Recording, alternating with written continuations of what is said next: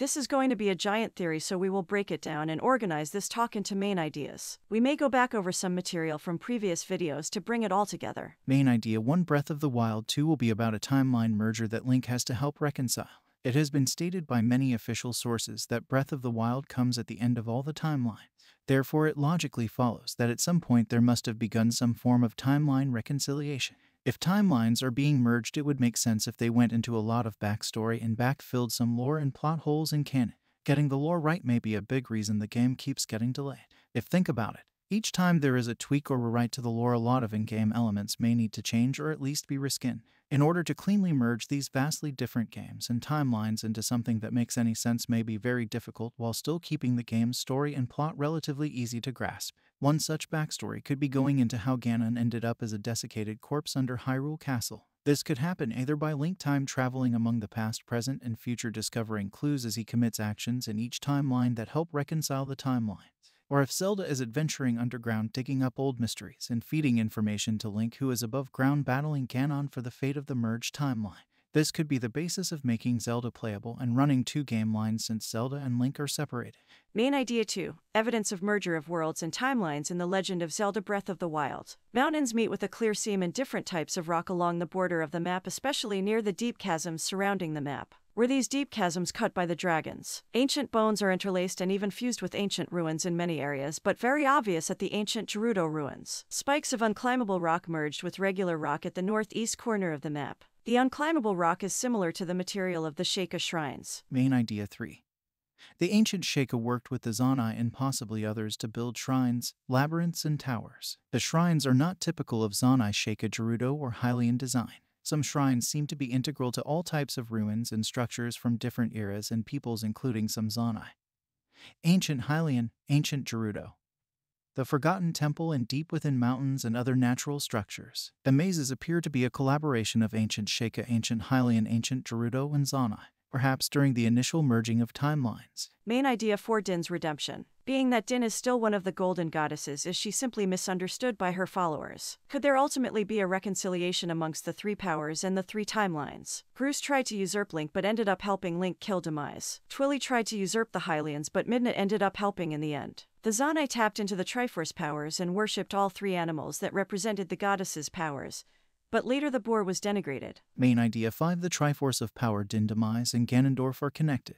Din's Triforce of Power is deeply connected to Ganondorf, and Ganondorf is seemingly connected to Demise. So it makes sense that the Triforce of Power is connected to Demise as well. Considering the wildly different personalities and powers of the Triforce pieces and presumably the Golden Goddesses it may make sense that the influence of Din's power often has a negative outcome for its wielders. Is the Triforce in a stable balance? If we consider that the Triforce is almost always depicted with one triangle on top, which triangle is that? Does it change over time? We know triangle position matters because when it is depicted upside down, it represents another realm. Lorule. So it begs the question is Demise connected to Din, the goddess of power, in the same way Nayru is connected to goddess Hylia? Was Demise's curse real or just him stating that just like Hylia would be reborn anew as Zelda? His defeat would simply cause him to be reborn again as Ganondorf and so start a natural cycle doomed to repeat. It would make sense if there is a pattern. Goddess. Triforce Piece, Demigod and Mortal Reincarnation. That would mean there would be Din. Triforce of Power, Demise, and Ganon. Nayru. Triforce of Wisdom, Hylia and Zelda, leaving Farore. The Triforce of Courage, the original champion and Link. What if there were two opposite goddesses and one to balance the two? And if they each left a demigod and Triforce piece behind? There may have been a Hylia demigod related to water and wisdom, then the opposite demise demigod related to fire and power, and finally a link between the two like electricity which runs through water and can cause fire, or wind which causes waves on water and stokes a fire. The idea is further strengthened because Malice is the same color as Din's energy, and Din, the Oracle of Seasons, has red hair and red eyes similar to the Twilight Princess. Did the Zonai have red hair and red eyes? Gerudo has red hair. Sheikah has red eyes. Did Groose take over the Earth Temple and started his people there? There are many patterns and motifs that are first seen at the Fire Temple in Skyward Sword, such as the spiral, the meander, the wave dot pattern, dragon, snakes, and more. Main idea 6 was Groose used by Demise to enact his curse. Who helped kill Demise? Who was there? Zelda, Link, Impa, Groose. All cursed and all recur are reborn throughout the series. Why was Groose chosen? Likely because he was most easily influenced by Din's power and due to physical size and appearance. similarities like red hair and gold eyes, easily manipulated personality traits like vanity, rivalry, desires for power leadership, and Zelda. Also, the inherent jealousy of Link may have also made him the most likely choice. You can see the vanity when he suggests naming Hyrule Grooseland. He led a team of bullies as the strong man in the group. Were Groose's weaknesses recognized by Demise and used against him and his descendants? Main idea 7 red haired humanoids stem from Groose and Grooseland. Did Groose actually found Grooseland? And over time, did Grooseland evolve into Gerudo? Are the Gerudo, Twili, and Zonai red-haired descendants of Groose. Are the Zonai ancient Gerudo before most including all males were banished to the Twilight Zone as interlopers? Is this why Zant wears the Gerudo crest and connects to Ganondorf? Could this be how the Gerudo were cursed to only have one male at a time? The rest were banished to the Twilight Realm. Most antagonists in the series are all redheads, and many even have a red jewel on the forehead. Ganondorf, Ganon, Zonai, Groose, Gerudo. Twili, Midna, Zant, Yuga, Astor, Twinrova, Demise and Din. Even Vaati had purple hair and a red jewel. Purple is a mix of blue and red, which is a theme we see with Twinrova as well. Also, why the red jewel on the forehead? Does it amplify Din's power? Does it open them to possession by Demise's spirit? It seems the spirit of the goddess Hylia is still exerting general influence outside of just reincarnating as Zelda. Could this also be true of Demise? Just like Groose, many of the antagonists have red hair and believe others' power belongs to them. Such examples are Ganon seeking the Triforce, interlopers banished due to seeking power, Twili determined rulers by who had the most magical power, Zant believes he should have the throne, Groose wanted to be the hero, Gerudo only respected power in their early history, Ganondorf seeks to rule Hyrule when he already has his own kingdom, Demise seeks all the power. Does this signify a connection to Din as the origin of the turmoil? Is this an ancient contest between the opposites of Din and Nayru? with Farore and Link caught in the middle as balance. Was Ganon involved with the Zonai? Main Idea 8 Ganondorf's corpse is directly powering the Astral Observatory. Breath of the Wild's final battle is a clue since Ganondorf's body is below the castle's Astral Observatory, which is below the sanctum.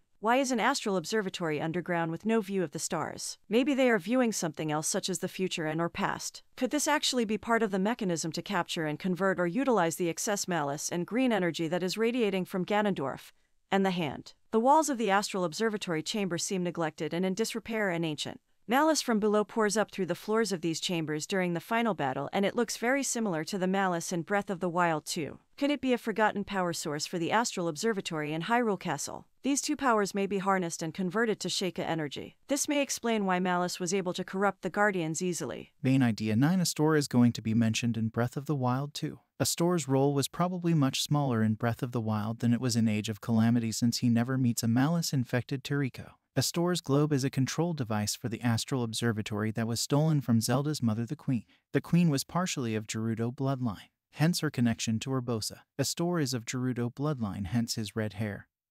And knowledge of the globe. Is Astor the brother of the Queen of Hyrule? Did he betray her? Astor's globe projects star patterns and connects with the patterns in the Astral Observatory in order to allow increased far sight. The Astral Observatory gathers malice energy from Ganon to power the star symbols and enhances far Ganon's body resides below the Sanctum and Astral Observatory, and his malice and spirit rise up to take root in the chamber above the Sanctum to form the Blight Ganon.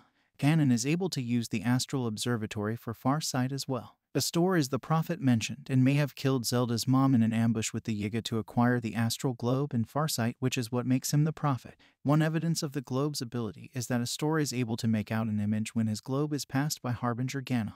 The globe's ability to use various types of energy can be seen when it absorbs souls and malice to become more powerful. Astor's name makes sense if he is using star symbols. What do we know about Astor? Gerudo symbol, Yiga connection.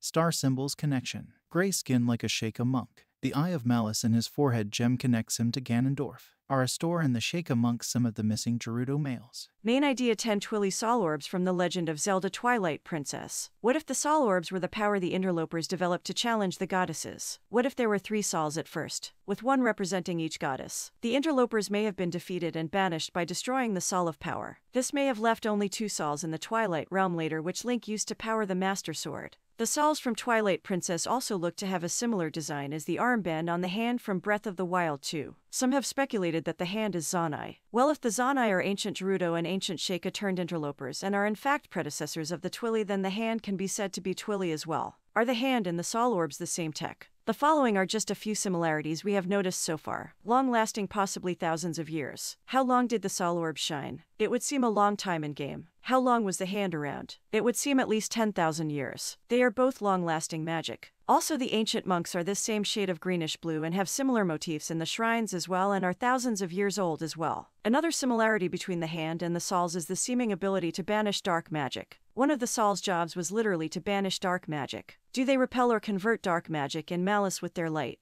It would seem the hand is able to suppress Ganondorf's dark power. Star symbols are found on both the Sol orbs and the hand. Patterns with bright lines and circles. The hand and the Sol orbs also share a similar color scheme, greenish color, similar to spirits and Farore. The goddess statues from Wind Waker each have an orb about the size of a sol, which indicates the sol orbs may be related to the goddess's powers. Main idea 11 similar patterns on clothing. The Breath of the Wild Zonai dragon statue's mouth looks like the symbol on Ganon's collar from The Legend of Zelda Twilight Princess, which is also similar to the symbol on Midna's adult form's hairpiece in Twilight Princess. The image on the Barbarian set matches the inner part of the Sheikah eye and resembles a Twili Sol or red gem surrounded by gold in a diamond shape can be seen on Groose. Vogear and Ganondorf. The square wave meanders are used on gear often with or without a dot, as well as the round wave with or without a dot. Main idea 12 spirals. There are many variations on the theme of spirals in The Legend of Zelda Breath of the Wild and The Legend of Zelda lore, and iconography in general. Could the square spiral equal G for Gerudo, Groose, and Ganondorf? The square spiral looks like the Sheikah letter G and is found on Zonai as well as Twili artifacts and armor such as the Fused Shadow. Another example is the much talked about Zonai symbol, which features a spiral with a tick. I would like to side note quickly that this symbol looks eerily similar to the Leaf Village symbol from Naruto. But I digress. The Zonai symbol has been speculated to represent the pact made to seal or drain Ganondorf, which is depicted by that spiral, while the tick might represent either the Triforce of Power or the sealing spike above Ganondorf's corpse. Was this a pact between the ancient Sheikah, ancient Hylians, and the ancient Gerudo or Zonai? Many snakes and dragons are depicted with tails spiraled. Main idea 13 The square wave pattern, also known as the meander motif, is literally everywhere in almost every game.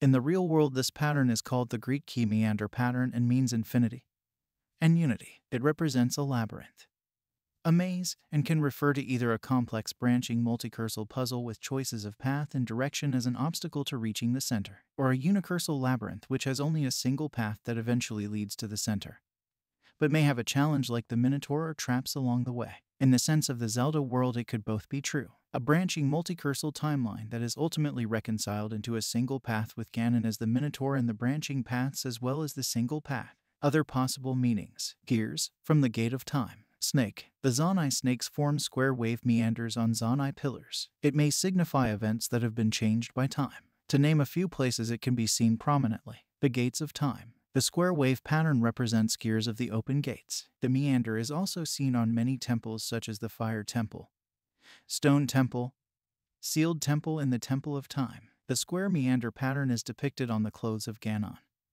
Link in Twinrova in green and red. The square wave with a dot pattern can be seen on clothes of the royal family and the Gerudo Desert Voe clothes. Gates and portals might connect all timelines and worlds, and this connection could be represented as the square wave. The square wave with dot seems to be connected to the rounded wave with dot and the omega sign with dot and even to the circle dot and the eye. Main idea 14 The Gerudo Desert was an ocean at various times. Sand seals and moldugas are originally ocean creatures. Whale skeletons abound. Green and red triangles on ships and Skyward Sword in areas that are desert at one time and ocean at another. These triangles are also present on ancient Gerudo structures in Breath of the Wild as well as on Gerudo luggage, vases, and pots. All archways in the Gerudo Desert are cracked at the top in the same way. Are the cracked archways from flooding? Did the archways hold doors which locked into the top of the archway, causing them to break the archway at the top during flooding? Whale skeletons on top of ancient ruins show the flooding that happened after the ancient Gerudo ruins were built. There are many raised bridges and walkways over dry sand areas. There seem to be different water level lines in the area. Could multiple eras of flooding have caused different water lines at multiple levels? This wet and dry cycle could keep creatures from fully evolving to desert creatures. Mulgigas and sand seals can swim probably in sand or water. A glitch allows you to see an ocean under desert with moldugas swimming about. Thank you for watching. Please like and subscribe. This content is produced by the twin team of father and daughter known as Zelda Twin Time. Until next time.